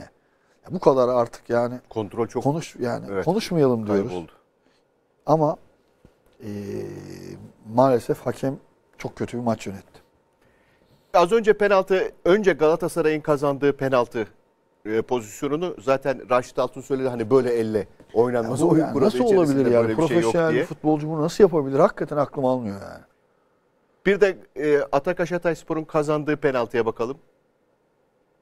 Alparslan'la Kamara'nın mücadelesi. Herhalde bunun içinde net penaltı E, tabii, tabii canım. diyeceğiz. Burada topa vuramıyor. Kamara'nın ayağına vuruyor. Bu- penaltı kararı çıktı. e, Yalnız şunu soracağım. O kadar uzun sürdü ki ama sadece bu dün akşamki maça özel değil. her- Bak şimdi VAR'ı dinliyorsun. VAR konuşuyor konuşuyor. Ondan sonra gidiyorsun VAR'ı izliyorsun. Dinliyorsun dinliyorsun izliyorsun izliyorsun. Ondan sonra geliyor hakem. Diyor ki ben VAR'ı izledim buyurun penaltı diyor. Penaltı dedikten sonra 2 dakika 3 dakika sonra atılıyor penaltı. Ceza sahası boşaltılıyor. Top yerine dikiliyor. Oyuncular pozisyon alıyor. Toplam Gidiyor 5-6 kaleciye dakika sürüyor. anlatıyor. 5-6 Bak dakika diyor sürüyor. çizgiye basıp sakın diyor şey yapma. Kaleciler artık zaten öğrendi hiç kimsenin ihlal e, yaptığı yok. Evet o konuda hakikaten iyi. Kaleciler ihlal etmiyor ama oyuncular ihlal ediyor. Bizim ligimizde de acaba Avrupa ligleriyle baksak e, çok penaltı kurtarıyor kaleciler. Kalecileri iyiliğinden mi kötü penaltılardan mı? Tabii bu da çok tartışılan bir şey yani. E, şimdi burada şunu da söyleyeyim. Kamara mesela dünkü maçın yıldızıydı. İşte attığı, yaptığı hani bütün pozisyonlarda var ya. Daha önce de Evet. iki sarı karttan da atılması Evet. Ya, tamam, olabilirdi. ya, o- yani neyse. Hayır şu şunu söyleyecektim. Bedavaya aldım Menemen Spor'dan mesela Hatay Spor. işliyor mu? Tabii İşliyor. ki işliyor. Amerikalı. Sierra Leone'li. İşliyor mu? İşliyor. Ee, Amerikan vatandaşı tabii. Ee, LA Galaxy'de oynamış. Gel, hani Menemen'e gelmiş. Bedavaya aldı. İşliyor mu? İşliyor hakikaten yani. Hocanın oyunun sistemi içerisinde. Evet. Şeye de baktık, e, penaltı pozisyonuna da baktık. Bir sonraki pozisyonumuz dakika 52'den geliyor burada. Bu pozisyon Şimdi bu mesela çok yani buna e, bu kaçıncı şey değil mi? dakika 52. Evet. Yani bunu mesela hani çok dün Burak bizim Öksüz trio'da konuşuldu da konuşuldu. diğer kanallarda çok şey olmadı. Şu Evet. Yani burada bilemiyorum. Bilemiyorum değil de zaten penaltı demiş hocalarımız da. evet. Şimdi bakın burada itme başladı. Diğer aslında içinde netice. İçinde evet. İtme değil de vurma diyelim. Vurma. Ya itme diye değerlendirildi. Evet. Ya neyse bu mesela şey değil yani bu da tabii yani ama hani bu değil de e, birkaç tane hocanın Şiddeti bu da tabii var ama hani bağ, ama hani bu hani Hamleyi- itti mi çekti mi e, şey yapmadı diyelim hoca. Ama bazı Halbuki orada böyle bir hamleye gerek var mı? Kaçırmış mıydı Kerem'i? Yani çizginin orada Evet. Aa, Burak da Sakaryaspor'dan geldi hani bir alt iki alt ligden. İyi de oynuyor ama ya burada tabii e, bir defans oyuncusu olarak büyük bir hata yapıyor bence. Ya zaten top artık çıkmış. Peki şimdi şey diyor ki e, yönetmenimiz Emre diyor ki tekrar bir başa alabilir miyiz ağır ağır Emre? Hamle yapıldığı anda top çıktı mı? Benim gördüğüm hamle yapıldığı anda top çıkmamıştı Emre. Bir de hep beraber bakalım sen de söyle. Yok yok olur mu ya top içeride. Şimdi şuradan görelim. Vurdu. Bak. Gel geri gel yavaşla gel geri. Diyor şimdi daha net açısı gelecek. Tam dur. Heh, hamle Çizgi burada. kamerasından abi. Göreceğiz. Hamle Devam. burada. İçeride Devam başlıyor Edelim. yani. Devam edelim. Aa bak ona dikkat etmemiştim. Çarpmanın etkisiyle şey gitti ya. Ekran gitti. Bak. Şurada top içeride Evet, bak. içeride bak. Şu hamle vuruyor. başladı. Evet, evet, evet, evet, evet. Tabii ekran orada arkada. Top içeride. Evet. Değil mi Emre sen ne diyorsun? Bir uzman bir göz olarak Emre de maç Emre ama tabii maç yönetmeni Emre tecrübeli çok deneyimli kafol. Sen ne diyorsun Emre hakikaten? İçeride başlıyor pozisyon. İçeride sanki. başlıyor. Evet. Ha Emre? O da karar veremedi. Biz de şey gibi var gibi sorduk Var, ona. evet. Ha, sen, İçeride o da penaltı diyor. bence. Evet, evet evet içeride diyor penaltı. Bir sonraki pozisyonumuza geçelim. Hangi, neredeyiz? 62. dakikaya gidiyoruz. Pozisyon 31. Ee, Şimdi çok bu sosyal medyada kafa karıştıran bir pozisyon İki oldu atak tabii. oldu çünkü evet, burada. Çünkü şimdi burada dönüyor. Aytaç aldığı için tekrar baştan alabilir miyiz? İyi anlatabilmek adına sevgili Emre. Hatay sağdan hücum ediyor. Burada offside. pozisyon. Lobyenitse. Evet Lobyenitse. Hakem bunu Kaçtı. kaçırıyor. Burada Alpaslan karşıladı. Şu anda burada duralım. Dur dur. Hiçbir Kontrolünde. yok. Baskı yok. Baskı yok. Evet kontrolünde. Rahat rahat çıkıyor. Evet, Pas verme imkanı var mı? Var. Dikine Var. gidiyor mu? Gidiyor. gidiyor. Zaten 2-3 kere top sürüyor. Dolayısıyla yani. artık o başlangıç bitmiş oluyor. Bitti. Bitti. Yani var geriye dönemiyor bu Dönemiyor. hata önüne. Dolayısıyla e, çizgi falan da söz konusu Söz değil bu konusu değil. sonra. Ee, topu kaptırıyor, gol oluyor. Ama tabii hocalarımız dün Onu kaptırması da çok acayip değil mi? Lütfen Devam edelim. Emre devam edelim. Ama bak, Bak, şimdi ikili baskı. bak abi bir dakika Yani dur dur dur geri gel. Hakikaten olacak iş değil. Ama ya. bir dakika dur dur geri gel bak. Bak geri gel. Geri gel. Şimdi Galatasaray takımındaki duruma bakalım tekrar. Pas opsiyonu yok diyorsun. Abi hayır gel geri gel daha gel gel. Ta en başa gel. Emre en başa var, gel, buraya en başa gel, diyor. en başa gel, en başa gel, en dur. Abi bak 3 kişi var. Üçü de duruyor. Evet. Kimse bir yere gitmiyor ki. Hemen bir açılın, geri geri gidin. Mesela marka çizgiye koşsun. Yani çiz, geri geri çizgiye. Kimse de bir devam et. Herkes bak duruyor. O da aralarından çocuk da gidiyor. Bakıyor sağına soluna. Ha, en olmayacak iş oldu. Evet. Orada tabii burada da o, o bir önceki offside artık iptal olmuş Kapandı. oluyor. Ama evet. e, hocalarımız yine trio o pozisyonu offside olduğunu ve kaçırılmaması gerektiğini söylüyor tabii. Yani bu seviyede tabii bu pozisyonu kaçırmaması gerekiyor yan hakemlerimizin de. Hakemin e, yan hakemin Burada offside. Bu dakikada ya şu anda Offside pozisyonu. hakemin pozisyonunun yanlış olduğunu ve ölçemediğini evet, değerlendirdi. yan, yan hakemin. evet. Şimdi ama şimdi top döndüğü anda atak fazı geçtiği için top artık şey, offside ölmüş Var diyelim. dönemeyecek yani. Dönemeyecek evet. Karar da orada verilmediği için yan hakem tarafından gitti. Gitti. Mesele Yalnız bu. yine Diouf- İki tane birleşik atak var yani burada. Diouf hakikaten çok özel bir oyuncu. Ligin hani e, değeri az bilinen oyuncularından biri. Yani az konuşulan diyelim ligimizde. Neticede Manchester United'de oynamış bir futbolcudan bahsediyoruz. Doğru. Son bir pozisyonumuz var. O da 79. dakika. Atakaş Hatayspor'un 4. golünden önce Sasha Boy'in az önce hah burası kaybettiği top burada Ribeiro ile. Dün akşam hakemlerimiz bunu faul olarak değerlendirdi. Çekme ve itme var topu kaybetmesinde diye. Benim e, gözlemlediğim ben hakem değilim. Sadece gözlemlediğim kadarıyla çok faul olacak bir pozisyonmuş gibi gelmedi bana. Diğerleriyle hemfikirim. Yani biraz böyle kendini çabuk şey yapıyor. Biraz Cagney'in de Rize maçındaki pozisyonuna benziyor. Yani Çok tartışılan bir pozisyon Evet. var Rize maçında. bence burada bütün bu şey içerisinde dünya Evet. kadar pozisyon var. Burada Ya sanki burada bir devam kararı çok hakemin de bak bayrak görünüyor artık hakemin gözünün ön- önünde. gözünün önünde. Sanki çok Yani yokmuş şey kart geldi bana. pozisyonlarında özel kamerayla ilgili itişler, Evet. kakışmalar Evet. kar- çekiyor vesaire. Hakikaten çok kötü bir performans sergiledi ve maalesef maçın sonucuna da e, çok etki yaptı ama Etki bu etti. e, hakemin maalesef çok şeyi var. Hani isminde şey yapmıyorum ama e, çok fazla maçlar ya da genel olarak aslında maçlar çok sıkıntı oluyor. Yani hakemlik şeyi müessesesi iyiye gideceğine daha kötüye gidiyor. çünkü Net. özellikle var konusunda varın Evet. müdahale bu şeyi unutun. Ee, Hatay'ın ikinci golünü Evet. unutun. O söyledik zaten yan hakem kaçırdığı için Geçmiş var geriye dönemiyor. Evet. Orada geri dönmesi mümkün, Mümkün değil. değil. Müdahale etmesi çünkü atak fazı değişti. Evet. E, Galatasaray aldı rahatça çıktı şeyle e, Aytaç'la. Ama VAR'ın ne yapıp ne yapmayacağı ya da neye karışıp karışmayacağı konusunda kafalar çok karışık galiba. Çok, Ya şimdi- net deliller var. Hani geceyle gündüz gibi va- varsa ve kaçmış bir pozisyonsa müdahale edilsin deniyor ya. Yani onlar olmuyor. Kartlarda kırmızı kartlarda ya da e, gol pozisyonlarında. Murat yani Avrupa'da da oluyor. Vara rağmen hatalar ama tabii bir maçta bu kadar. Her maçta. Şimdi Beşiktaş maçında var. İşte o maçta var. Fenerbahçe örnek veriyorum. yani Bir haftada her maçta bir hakem sıkıntısı olur mu? Her maçta oluyor. Vara rağmen olunca tabii e, insanlar da mutsuz oluyor açıkçası. Maalesef biz de siz de herkes konuşmak zorunda kalıyor. E, hakemlerimiz hakikaten çok formsuz diyelim yani. Söze başlarken belirttiğimiz gibi Ömer Hoca iyi çalışmış. Galatasaray'ın handikaplarını yeni hocasıyla e, hani hemen dünden bugüne iki günde üç günde zaten Tabii canım, Galatasaray'da bir şey çok olacak. büyük değişiklik olmasını bekle, Mümkün değil beklemek herkese haksızlık olur. Oyuncuya da haksızlık olur, hocaya da haksızlık olur ama e, Hatayspor her zamanki oyununu oynayarak Evet. Yani tabii her Guardiola'nın zamanki yardımcı oyununu derken bu sefer topu Galatasaray'a verdi. Hayır bir de şöyle bir durum var Muratcan. Tabii Guardiola'nın yardımcısı olma adam Torrent olarak değil yani hoca. Guardiola'nın yardımcısı olarak anılıyor. Guardiola'nın yardımcısı. Ya kolay değil tabii yani. Guardiola'nın da Manchester City'de biliyorsun 1 milyar dolar para harcadı. 700 milyon 700 milyon euro sadece defansa harcadı. E, alamıyor Şampiyonlar Ligi'ni. Guardiola'nın dünyanın en iyi hocalarının ilk üçe girer değil mi? Girer, Girer. tabii yani. E, son şampiyonluğunda Xavi Iniesta Messi var. Şampiyonlar Ligi şampiyonluğunda yani. Kolay değil yani kadro kalitesi vesaire gelecek torrent hop geldi 4 gün sonra çıkacak takım uçacak böyle mümkün değil.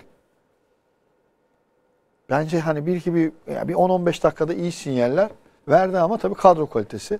Galatasaray'ın bir kaleci tabii mutlaka gerçi İsmail Çipen'in hani bence şimdi bir daha seyredince ağır çekimden kale arkasından orada Markan'ın ayağına değiyor. Kaleci yanıltıyor. O da Ama tam üstüne gelen top Evet. soluna E, o gidiyor, ama evet. Doğru pozisyon almış aslında da. E, orta saha takviyesi şart. E, santraforları da dönünce e, hiç- e, hani 27 puan. Bu hafta Ka- Kasımpaşa maçı ama bence Galatasaray için şöyle kritik sevgili Murat. E, Galatasaray taraftar grupları da açıklama yaptı. Yönetiminle ilgili biraz eleştirdi. Yani bu maçta protestolar olabilir yönetime karşı ki yani büyük kulüplerde dünyanın her yerinde bu normal yani bu e, Real Madrid'de de oluyor. Elbette Her tabii ki. oluyor yani. Tabii ki. E, Şimdi e, medeni bir şekilde protestosunu da yapabilir Aynen herkes. öyle. Bütün taraftarlarda. Sanki olacak gibi. Var mı Kasımpaşa eklemek istediğiniz kritik. bir şey? Karşılaşmayla alakalı çünkü e, şeye geçeceğim. Fenerbahçe'ye geçeceğim. Fenerbahçe maçına geçeceğim. Galatasaray, Atakaş Hatayspor Galatasaray maçıyla ilgili eklemek istediğiniz bir şey yoksa. To- sevgili Tolga atladığımız bir şey yok değil mi? Her şeye girdik. Bütün pozisyonları. Tamam. O zaman ha peki bir ara yapalım değerli izleyenler. Bir araya gidelim ardından da e, Antalya Spor Fenerbahçe maçından yansıyan notlarla devam edelim.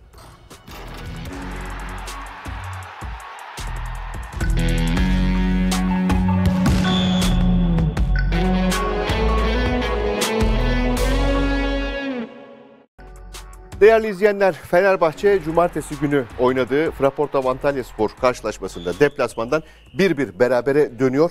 Ee, ilk olarak ekranlarınıza Fanatik Gazetesi geliyor. Acil iki takviye başlığı atılmış. İsmail Kartal sadece tek maçta çözümü transfer olarak belirledi ve yönetime mesaj gönderdi. Fenerbahçe İsmail Kartal yönetimindeki ilk maçına Antalya Spor karşısında çıktı. Bu sezon hücumdaki en etkisiz oyununu oynadı. Tecrübeli çalıştırıcı maçtan sonraki açıklamasında bu takıma transfer şart dedi. Forvet ve sol bek istedi.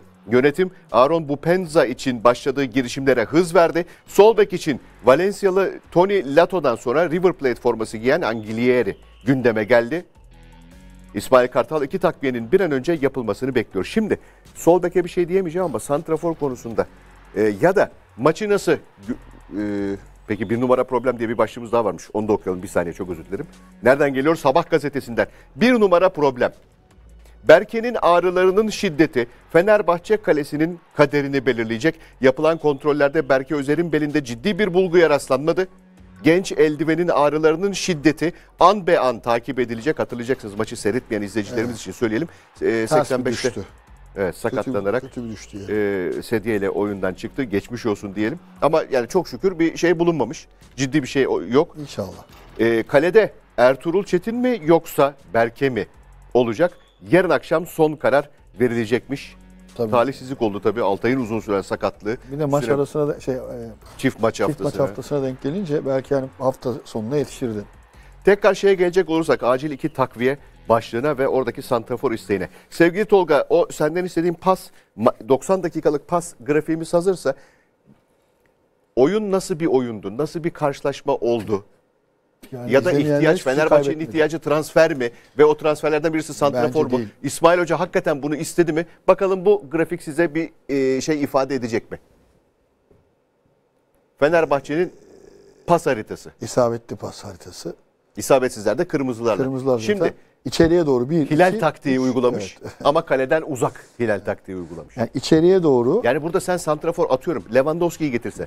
Top verememişsin Lewandowski'ye. bravo. Sa- Yani Serdar Dursun ilk yarı bir, ikinci yarı bir Evet. kez cezasını topla bulmuştur. Mesut Özil de Serdar Dursun da bulduğu zaman atan bir oyuncu. atan bir oyuncu. Mesut Özil de takım arkadaşlarını bir kez sahasında topla buluşturabilmiş. Yani Mesut Özil. Yani e, Fenerbahçe maçını seyretmeyenler hiçbir şey kaybetmedi hakikaten. Transfer zaten Fenerbahçe'nin kötü bir kadrosu yok sezon başında. Ben de zaman zaman şey değişiyor. Ee, siz söyleyin.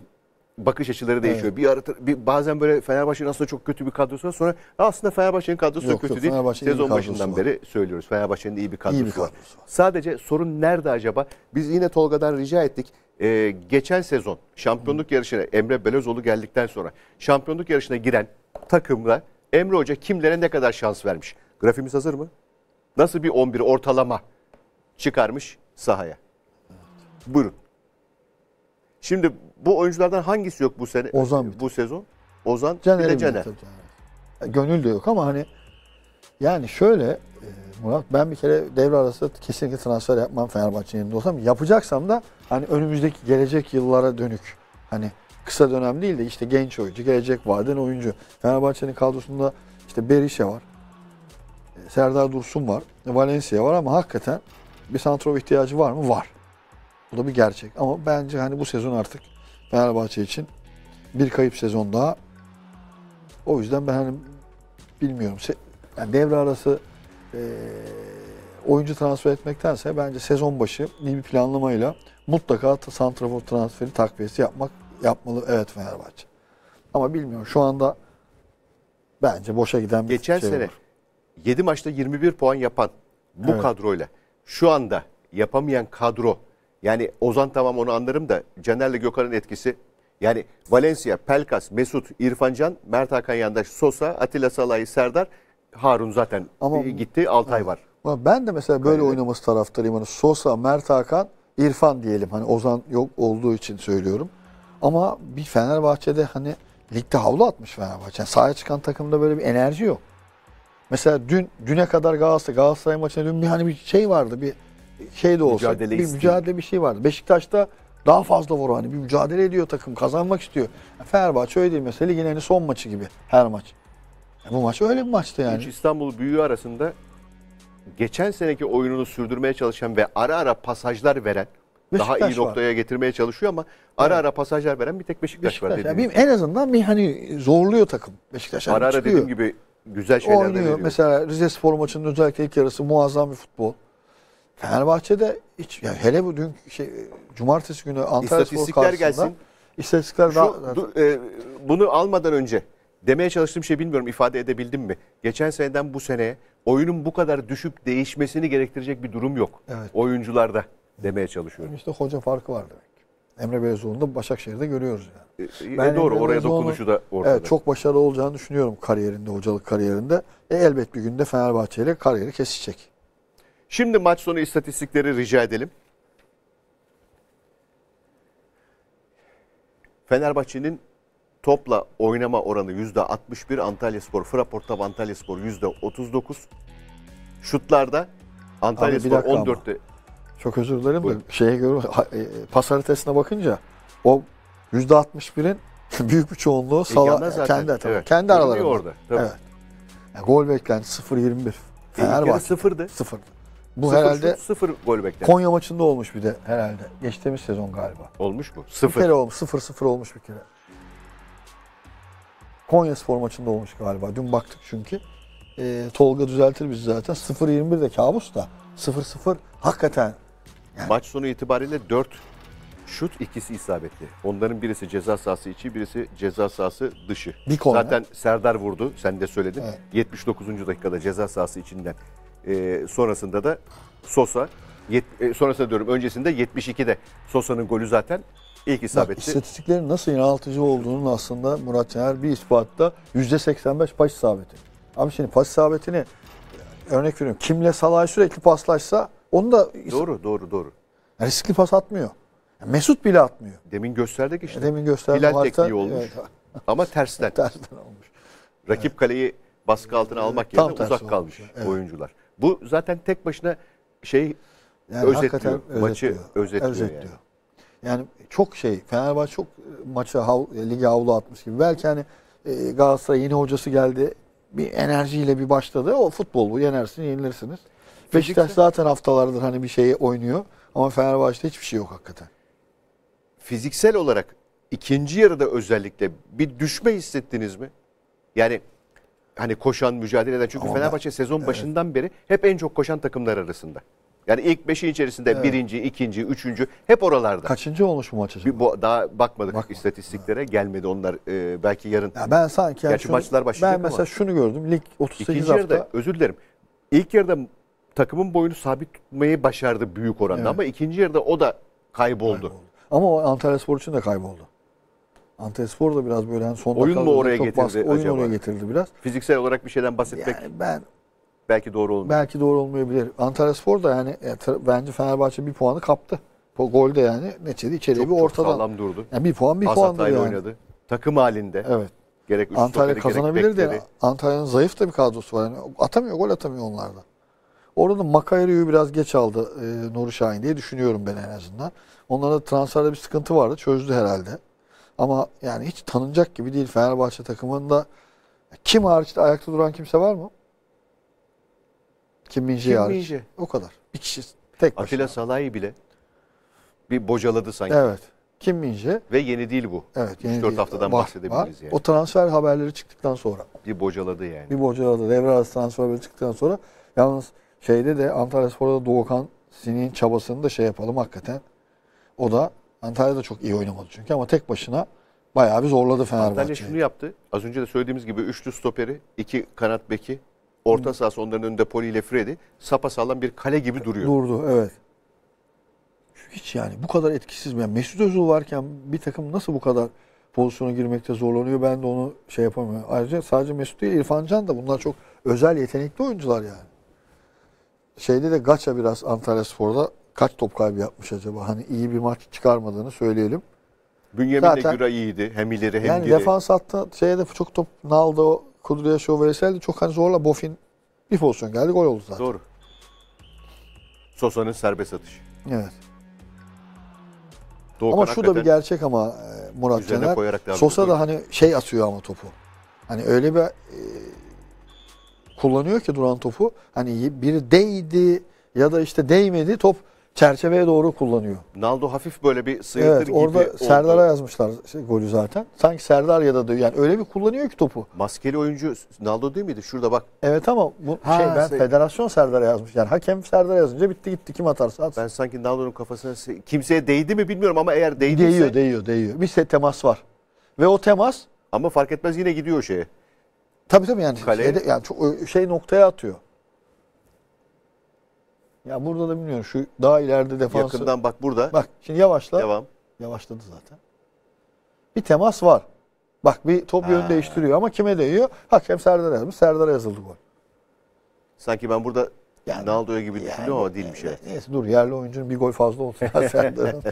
bir gol bir goldür yani. Doğru. Orada eğer Evet, yanıltıysa sadece yani. Bofen'i yanıltmıştır. Evet. Bir, bir tık yana gidiyor. Tabii, tabii. Ama dediğin gibi zaten çerçeveye gidiyor. Çerçeveye atıyor yani. Şimdi bu da ya Sosa mesela çok özel bir oyuncu. Hakikaten Fenerbahçe çok iyi oyuncular var. İrfan, yani Mesut Özil saymıyorum. İrfan Can Kahveci var. Yani nasıl bu kadar Üretemiyor. üretememesini anlamıyorum. Futbol bu kötü oynarsın, iyi oynarsın. Bir maçı iyi oynarsın. Bir maç... Ama yani Fenerbahçe iyi maçı var mı? İşte pas haritası ortaya koyuyor Evet. her şeyi. Hayır kazandığı Galatasaray derbisi dahil. Deplasmanda kazandı ama o maçta da Ve iyi kadro olmasına, iyi Rağmen, bir kadrosu evet. olmasına rağmen. eksik var mı? Bence de var ayrı. Santrafor gerekiyor. Sağ bek ama bu sezon için bence hiç şeye gerek yok. Sezon sonu transfer yap, ya- yapacaktır Fenerbahçe. Bu arada da tabii işte e, Sosa'nın herhalde sözleşmesi bitiyor. Luis Gustavo'nun da bitiyor olabilir. Ya da bir senesi daha var. Artık takım da biraz yaşlanıyor yani. E, Gustavo sanki gerçek. acaba Ama Fenerbahçe'nin kadrosu aslında ben şeye bakmıştık Murat Caner optacılarla. Ligde ilk yarı tabii ilk yarı ama dakika itibariyle en genç takım Galatasaray'dı. doğru. Dakika başına. İkinci de Fenerbahçe'ydi. Doğru. Fenerbahçe'de hani şey hariç Luis Gustavo oynamıyor. Valencia'da hani sakattı. Sosa'yı da oynatmıyordu Pereira. Mesut hariç 30 yaşının üzerinde oyuncu yoktu ve e, hakikaten genç bir kadrosu var Fenerbahçe'nin de. Yani iki stoperi genç. İrfan Can, e, Mert Hakan hep 30 yaşın altında oyuncular. Yani doğru işler yapıl yani yapılıyor bir yandan da ama e, totale baktığınız zaman yani sahada yani ligin sanki 38 hafta ligin 35. haftası hiçbir iddiası kalmamış bir takım gibi. Yani tabii ki Trabzonspor'a yetişmek çok güç ama yani futbol bu. Hani ses çıkıp Fenerbahçe takım Kaldık kazanmaya yani zorlayacaksınız da yani. galibiyet sayısı, geliri vesairesi, sezonu bitirdiğin nokta. Bravo. Ya bak mesela Fenerbahçe'nin puan e, fikstürde şey puan durumunda Beşiktaş altında değil mi Fenerbahçe'nin? Altında. E, e, Sayın Ahmet Nur Çebi şampiyon olacağız diyor. Bu bir motivasyondur Fenerbahçe yani. 6. sırada 33 puanla Beşiktaş e, 32 puanla 7. Tamam. Hocayla Önder Karaveli ile sözleşme imzalarken hep söylüyor şampiyon bir motive etmeye çalışıyor yani. Bir galibiyet 3 milyon TL'nin üstünde para. Aynen öyle. Yani zaten profesyonel futbolcu tabii ki maksimumunu vermeye çıkmalı ama hani Fenerbahçe'de hakikaten maalesef de bir havlu atma durumu söz konusu takımdaki futbolcularda. Pozisyon olarak şey e, hani çok e, hakemlik Pozisyon bir yok düşün şey yani. olmadı.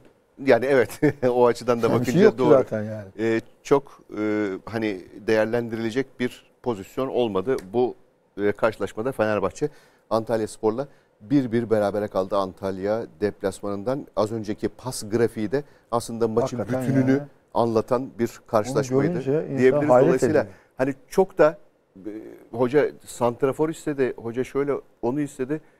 Ha, sanki değil mi Sanki mesela santrafor mesela Olsa E, değil, girdi öyle bir- pozisyonları değil atamadı yani. değil mesela. Galatasaray maçlarında giriyordu mesela pozisyonlara.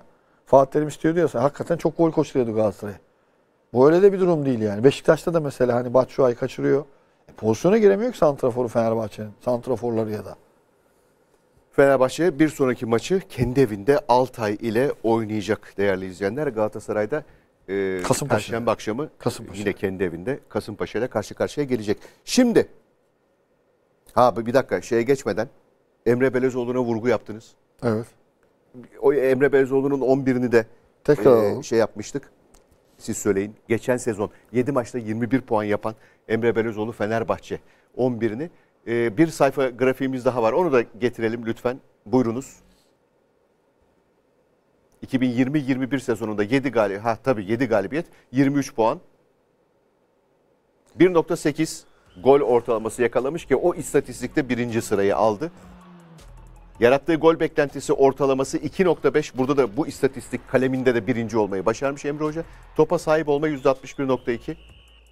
Şut ortalaması 17.6 ile ikinci olmuş. İsabetli şut 6.2.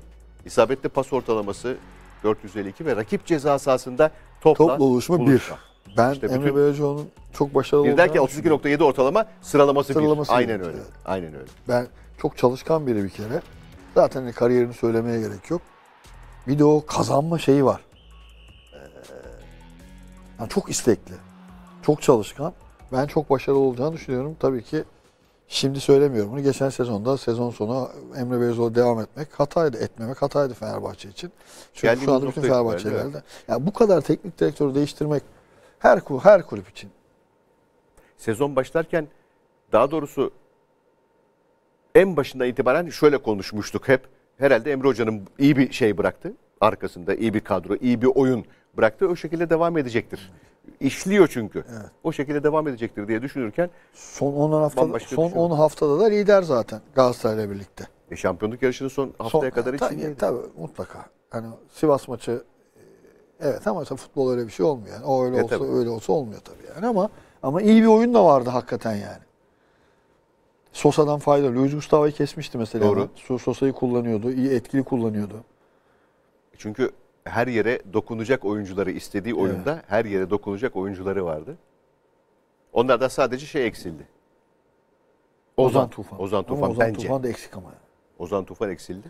Ben Ama bir tek Ozan, Ozan Tufan'ın eksikliği geçen seneki oyunla bu seneki oyunu da tabii, tabii, açıklamaz tabii, tabii, tek tabii, başına. Tabii. Ama Ozan'ı mesela bilmiyorum göndermesi Fenerbahçe'nin. Kiralık gönderme satması. 10 milyon euroya satarsın derim ki 10 milyon euro para gelmiş. Tabii ki ekonomik durumlar ama. Bence hem Ozan için hem de Türk futbolu için çok isabetli bir E, şey mutlaka. oldu. Hatırla oradaki röportajında bu İngiltere'de Premier Lig'de futbol nasıl oynanıyor ve kendisi nasıl bir seviyeye çıktı. Herkes için bence son derece Doğru. güzel bir kazanım oldu. Şimdi geçiyoruz Sabah gazetesine ve de Trabzonspor'a değerli izleyenler. Trabzonspor'da sıra stoperde. Liderliğin keyfini süren Fırtına'da transfer bitmedi. Ara dönemde 4 önemli isimle kadrosunu güçlendiren Bordo Mavililer 5. ve son takviyeyi defansa yapacak. Ancak yüksek maliyetler nedeniyle aceleci davranılmıyormuş. Hedefte Samet Akaydın, Koray Günter, Kaan Ayhan ve Samuel Yigo gibi isimlerin yer aldığı belirtiliyor. Valla Murat Caner, Koray Günter'le Kaan Ayhan'ın menajeri aynı kişi. Ve maliyeti yüksek olduğunu biliyoruz iki Doğru. oyuncunun da. Bence burada en mantıklı Samet Akaydın geliyor. Akçabat Sebatspor yani Trabzonlu çocuk. Trabzonspor, yani Trabzon altyapısı. Trabzonlu çocuk. Sam, e, Akçabat Sebatspor altyapısından. Demirspor'da onu 4 milyon TL'ye almış. Demirspor'un yerli Semih var stoperi. İşte Tayyip Talha var. Yerli stoper kontenjanı da var. Şeyi de var, rotasyonu da var. Bana Samet gibi geliyor. Hani en mantıklısı. Çünkü oraya artık yerli bir opsiyon kullanmak zorunda. Sol bek de Polonyalı sol bek aldı. Ama peki hoca bir şey yapmıyor. Sezon başından beri Ahmet Can'a biz konuşuyoruz burada. evet. Pek tercih Ama etmiyor şimdi anladığım şampiyonluk kadarıyla. yarışında çok kolay bir kopsa mesela hani bir garantilese bence verir, verir ama Şu o riske risk de giremiyor yani demek neticede. Bir de bir Trabzonspor da mesela ta- koparamıyor bir türlü. Mesela Sivas'ı yense inanılmaz bir şey olacaktı. Ama Sivas Tabii, deplasmanı Sivas deplasmanından bir puan iyi. Hatırlarsın sen geçen sene e, Beşiktaş Sivas Spor Tabii. Beşiktaş maçından sonra Sergen Yalçın dedi ki Sivas Spor deplasmanı bir puan iyi. Bence de aynı şekilde. Sivas'tan bir puan her takım için iyi. Ben de burada hani kaybedilmiş iki puan değil kazanmış bir puan görüyorum ama kazansa tabii ligi koparacak. doğru. Yani Sivas'ı da yani deplasmanda olacak yani. O yüzden şey bir bakalım kim olacak. Bir Bu hafta stoper evinde takviyesi Giresun'da şart. oynayacak Der- ama evet. Sonra da Galatasaray'la oynuyor. Sonra da Galatasaray'la Galatasaray. oynuyor hafta sonunda. Evet. Vakayeme ve Siopis için gözler testlerde. Trabzonspor'da hastalıkları nedeniyle Sivas Spor deplasmanında forma giyemeyen Vakayeme ki çok aradı. Kesin. Ee, Trabzonspor, Siopis, Vakayeme ve Siopis çarşamba günü oynanacak Giresunspor maçı öncesinde yarın test verecekler. İki futbolcunun da negatif çıkmaları durumunda maça yetişme ihtimalleri bulunsa da antrenman eksikleri olacağı için kararı teknik direktör Abdullah Avcı verecek demiş. Yusuf Erdoğan ikinci yarının başında oyuna girdi Abdülkadir Ömür'le yer değişti. Ee, sahada olmak paha biçilmezdi sözünü başlığa çıkarmış gazete ve Abdullah Hoca'nın 90. dakikada gördüğü e, kartla alakalı olarak Sivas Spor maçında saha kenarında çizgileri ihlal ettiği için direkt kırmızı kart gören teknik direktör Abdullah Avcı'nın cezası bir maç olacak Evet, diye de maç. yazmış Evet, gazete. Bir maçmış. Yusuf Erdoğan da etkili oldu. Muratcan bir tane hani Aşırtma vurduğu top var. evet yani iyiydi o. Defans kamera çıkardı. Çizgiden çıkardı. Çizgiden evet. çıkardı. O da zaten ikinci yarının Evet, Tek pozisyonuydu pozisyon ama desek tabii ki kar yağışı evet, oldu kar vesaire. yağışı oldu. Bir de Sivas'tan Ama- hakikaten zor yani. ama maç sonu istatistiği getirelim lütfen. Demir Grup Sivasspor, Trabzonspor maç sonu istatistiği. Trabzonspor %57 topa sahip oldu. %43 Demir Grup Sivasspor şutlara bakar mısın? Evet kafa kafa. 10'da 3, Evet. 10'da 4. Gol beklentisi 1-0-1. Yani yakın. Bir not. Evet. Rakip ceza sahasında topla buluşma evet çok az. 10. Çok yani az. Trabzon istatistiki olarak da iyi bir Evet, oyun oynamadı. oynamadı. Yalnız benim o Abdullah Avcı'da hep dikkatimi Üretemedi çeken. yani. Evet Murat Caner Bu maçta. Hep dikkatimi çeken. Mesela maçlarda hiç Trabzonspor fazla orta yapan takım olmuyor. Hiçbir zaman. Hiç öyle şey Tercih denemiyor yani. Evet tercih Başakşehir'de etmiyor. de öyleydi hocam. Bravo Başakşehir'de Beşiktaş'ta de da öyleydi. Beşiktaş'ta da öyleydi. Yani öyle geleyim cihaz'a, cihaz'a yaklaşınca topun dibine vurayım onu tercih etmiyor hocam. Her maçına bakıyorum hep rakibinden daha az. Ya mutlaka vardır arada daha çok olduğu da. Ve Cornelius'a rağmen. Hani sağcılı bir santrafor olmasına rağmen. İkinci yarıda aa, hoca kanat oyuncularını değiştirdi. İşte Yusuf Erdoğan girdi dedik ama hani hızla bir fark yaratayım diye orada da kar yağışı, Ama ağırlaşan bravo. şartlar. Ama orada tabii Vakayeme de çok büyük eksik. Sivas Spor da bu arada Orada da Max Gradel'le Faysal Facır yok. evet Afrika Kupası'nda. O da tabii Sivas'ın da eksikleri var. ama oyunu e, çok iyi kapattı. Kapattı. Topu kaybettiği anda Trabzonspor'un e, pas kanallarını kapatabilmek adına hızlıca pozisyon aldılar ve hata yapmadılar. Bu da zaten Trabzonspor'un işletememesinde orada anahtarı açacak, e, özür dilerim kilidi açacak anahtar oyuncu Vakayeme'ydi büyük Evet. oranda. Onun yokluğunda Yoktu. Tabii üretme konusunda çok acayip yani. sıkıntı yaşadı. Senin söylediğin gibi kilit açma konusunda hakikaten çilingir Çok yani. ekstra. Çünkü her şey gol atıyor, asist yapıyor. Her şey yapıyor. Adam geçiyor. Çok ekstra. Çok Hamşik güzeldi bu atak yalnız. yine her zamanki gibi E bu son pası burada veren zaten kim? Ondan önceki şu, şu pası veren kim? Şeye. Tekrar başa alalım. En başa alalım. Orada Bakasetas'la Hamşi'yi gördüm ben de hangisi hangisiydi? Bakasetas'mış. Bakasetas yok 10 Bakasetas. numara 10 e, 18 numara. O da hakikaten çok şık pasmış. Bakasetas da esas asıl Vişça, Vişça. Vişça, Vişça. Tabii canım Vişça 18. Yeni Bak. transferi. O da çok şık pas. Bakasetas yalnız hastalıktan, sakatlıktan sonra biraz şey döndü. Lige başladığı gibi O da dönmedi. Çikaldao gibi tam Evet. performans dönemedi. O dönemedi yani. Ama hani böyle Allah bakınca Murat Caner yani. puan farkından ziyade ben kadroya bakıyorum. Solda Bakaset e, Vakayeme, sağda Visca. İşte Yusuf Erdoğan, Abdülkadir Ömür yani hakikaten Hamşi. ofansif olarak Amşik yani çok güçlü. Ben bir stoper takviyesi yapması gerektiğini düşünüyorum. Yani zaten Edgar Yeğen'in hani olmaması Hüseyin Türkmen, Densil, Vitor Hugo zaten ligin en iyi stoperlerinden biri. Ama oraya bir Türk. bir tane Rotasyonda. bir- ya gerekti bence şart. Ee, Koray Günter'le Kaan Ayhan da söylediğin gibi menajerleri aynı. Hani onun çok Vitor mümkün Hugo olmadığını söyledi. demişken yani. Trabzonspor'un attığı golde Trabzonspor topu Evet. Tabii sol ayak. Demir Grup Sivas Spor soldan hücum ederken kendi sahasında kaptı topu. Marek Hamşik'le birlikte. Var mı o pozisyon kale Ee, arkası? en başından itibaren var mı bilmiyorum. Bence en güzel görüntü. 40 saniye boyunca Evet. üst üste oynadı. Trabzon en son Vitor Hugo. Buyurun. şimdi bu Vitor Hugo'nun pasının Orta bak, sahaya geçecek. Şu pasın kale arkası var ama. 4 O tane çok oyuncu. güzel. 2 orta saha, 2 savunma. Bak gitti. Hatta 5. Çok çok çok iyi. Çok çok müthiş pas. Abdülkadir Ömür de muazzam bitirdi. muazzam. En kalecinin en zayıf yeri. Bunun e, şey kale, Sivas kale arkasından bir görüntüsü vardı. Topu araya bırakışını gösteriyor. 5 tane oyuncu. Bak, ben 4 şimdi saymıştım. Bak şu o yani şu şu görüntü. Emre Kaprol mu maçı çekmiş hemen buldu görüntüyü çat diye. Emre sen mi vardın hakikaten çok çok şık. Şey. Aa Emre varmış ya evet. Tabii ona o kadar çok şık pas yani hakikaten. Yani şimdi biz tabii e, Murat Can sizinle de konuşuyoruz. Ya büyük takım stoperi yani asist gol atacak yani büyük takımda oynuyorsunuz. Yani Vitor Hugo hakikaten zaten Serie A'da oynamış bir sezon. Fiorentina'da ve 32 maç oynamış. Niye geriye dönmüş Palmeiras'a onu bilemiyorum. Yani 32 maç oynattığınız bir adamı göndermezseniz de tabii tahmini Palmeiras'ta da şampiyon oluyor zaten. Oradan Trabzonspor bence hani ligin en iyi stoperlerinden biri olduğunu düşünüyorum ben. Hani mesela ilk yarının karmasını yapsam ben Vitor Hugo'yu koyarım sol stopere. Kim var başka? Markao. E 8 maç yoktu. O, onu Siz ne saymıyorum. marka severmişsiniz. Onu 8 saymıyorum. maç yoktu. Gol yok, asist yok. Bilmiyorum. Bence Vitor Hugo. Sağ stoperi de ben Kim Min-jae diyorum. Yani ilk yarı performansıyla tabii. İşte sezon sonu bitince bakacağız ona da. Oyun kurma konusunda. Marka da iyi ama bu da iyi. Vitor Hugo da iyi.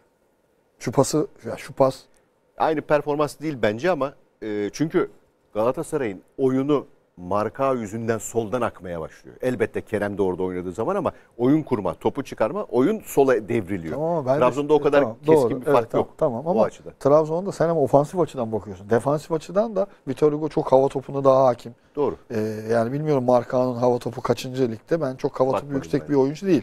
Ee, Vitor Hugo'nun şeyi daha yüksek. Defansif anlamda Vitor Hugo daha yüksek.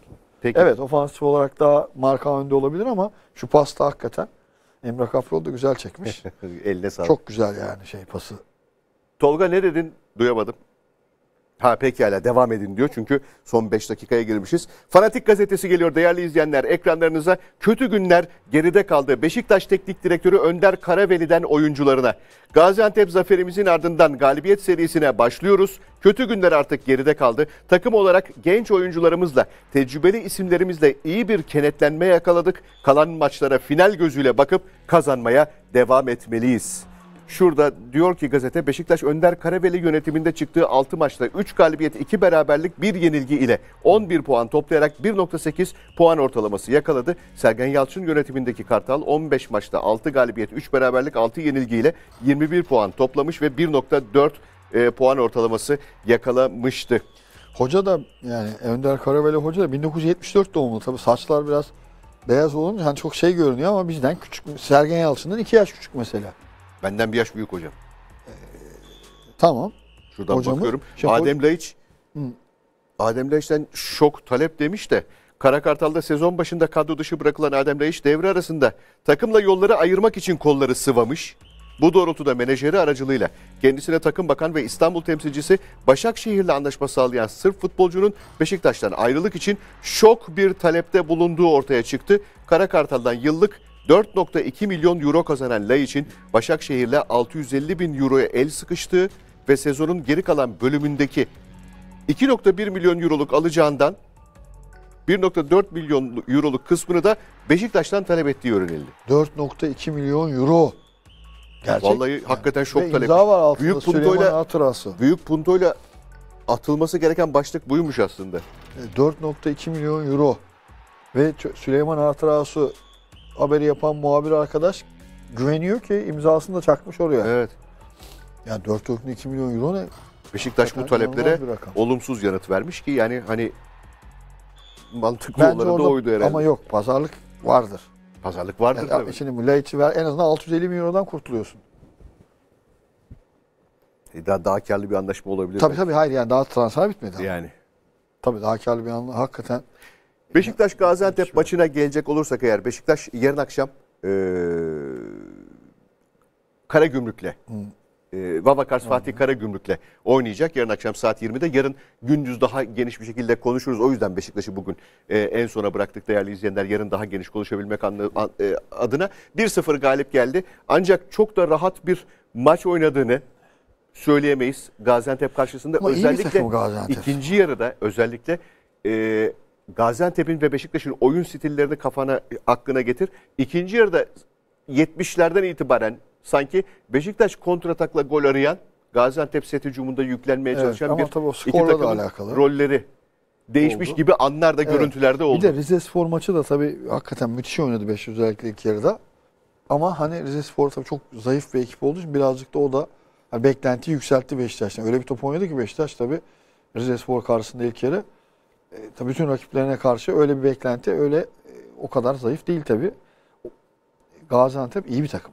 Bir tane pozisyon getirmek istiyorum bu maçtan. Dediğim gibi Beşiktaş'ın oyununu yarın e, programımızda daha geniş konuşacağız. Sevgili Reci, e, Beşiktaş Gaziantep maçı 5 numaralı pozisyon yani dakika 42. Ciloboci Yani bu tabii Ha, zaten maçtaki en çok tartışılan pozisyon. Yani burada hakemin bakış açısı da açık diye düşünüyorum.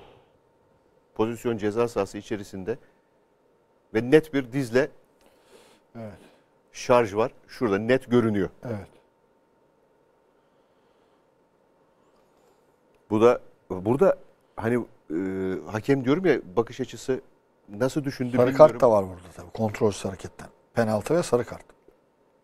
Dedik ya varın da neye karışıp neye karışmayacağı konusunda kafalar karışık hakemlerde galiba diye. Belki de şu şöyle oldu. Hani hocam ne gördün? Ben şeyi gördüm.